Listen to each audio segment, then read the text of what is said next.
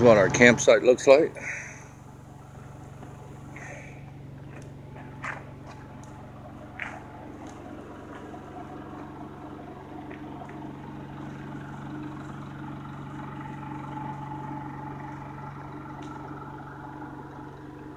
Got the restrooms right across the street from us.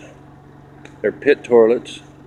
And it's got a faucet right there that you can use to get water. Um, basically, bear proof garbage cans. I think there's like 16 sites in this whole place. And up here on this upper level, there's more down below. And there's dispersed camping, which is free up above. These sites run $5 a night. If you have a national parks pass or something, uh, you get them for half price. So right now we're paying 250 a night. We're staying here for $35 for two weeks. The maximum stay time is uh, 14 days.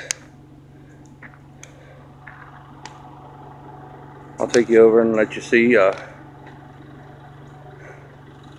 what the toilets look like inside.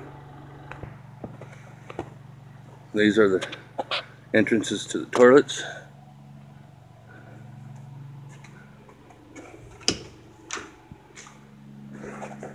And these are very clean.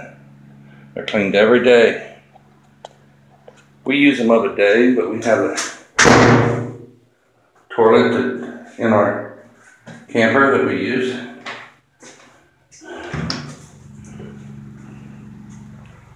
And these are the trash receptacles. We got them on both ends. We had a bear come into our camp the first night, but uh, didn't do no damage. This is our uh, water faucet if we need it. We usually just come over and get the dog's water from it. And over through that way, there's some trails. And that's like the uh, campground swimming hole. I'll take you over there in a little bit. Let you see it. And down that way leads you to more campsites. You can rent them and park the car here and pack your stuff in if you want to be more remote. I'm going to walk over toward the swimming hole. If you can bear with me.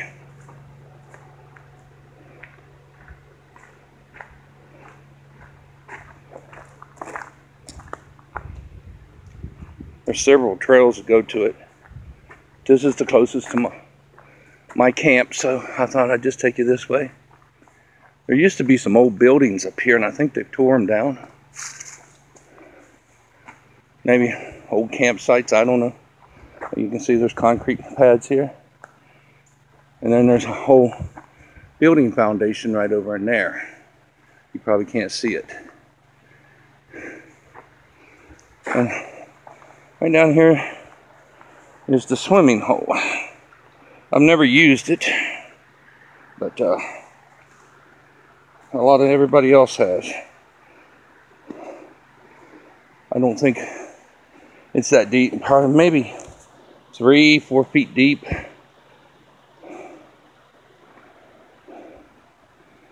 You can see where people has put rocks across it to hold the water back and dam it. It goes on up through there. And this is native trout in this water. I've yet to catch a trout. I've only been once though. Uh, you can keep anything over seven inches, but you have to use single hook, hook lures in this area.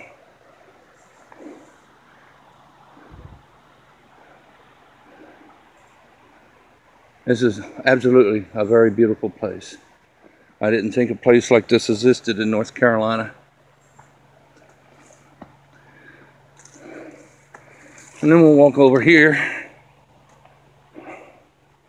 I'll let you see that uh, old house structure that I was talking about earlier.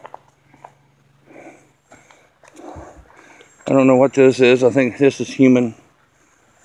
I don't think it was anything by an animal because it was just on that one side. And I think this was just a human that did this.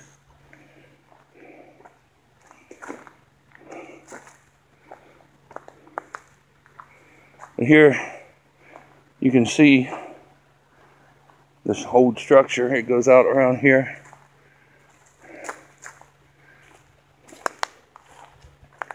Down around.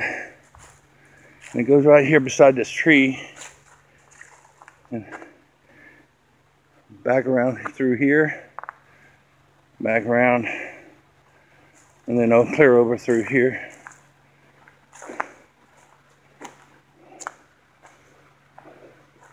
And then we have this path that takes you down to other campsites. This is actually a pretty big area to stay at. But we're just about the only ones here besides that one camper that was across from us in the tent.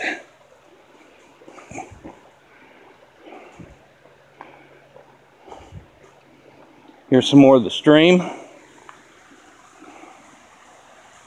This is below the swimming hole.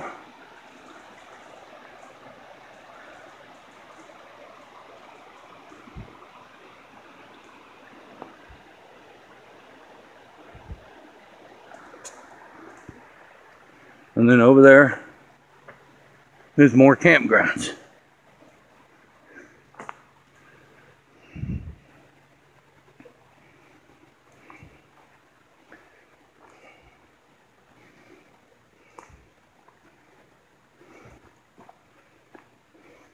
These are the private and secluded ones where you you want to be left alone. This is the place to come to.